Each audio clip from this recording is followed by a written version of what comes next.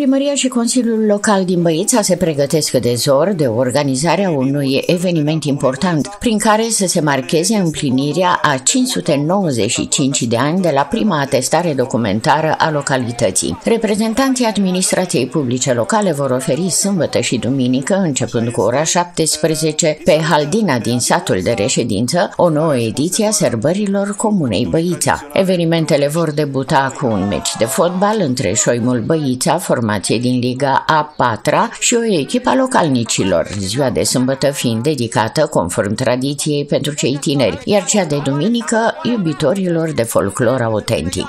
În 2-3 iulie o să fie zilele comunei, avem 595 de ani de atestare documentară, invit pe toată lumea, tot județul, toată comuna, toți vecinii să vină la noi pentru a vedea un spectacol frumos, o, două zile frumoase care le merită cetățenii Comunei Băița. Sâmbătă în doi avem seara tineretului ca și cum am obișnuit în, în anii trecuți cu diverse programe de muzică ușoară. O să vedeți atunci despre cine e vorba. Duminică o să trecem, sâmbătă începe la ora 17 după masă, duminică la fel, o să începem cu folclor, folclor bun, folclor autentic, cu mulți soliști și drăgiți ai țării noastre, nu numai ai Comunii Băița și ai județului Hunedoara.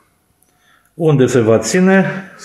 Sigur, în același loc o să ținem pe Haldina din Băița, satul nostru de centru, locul cu, în care de mulți, mulți ani ținem această sărbătoare.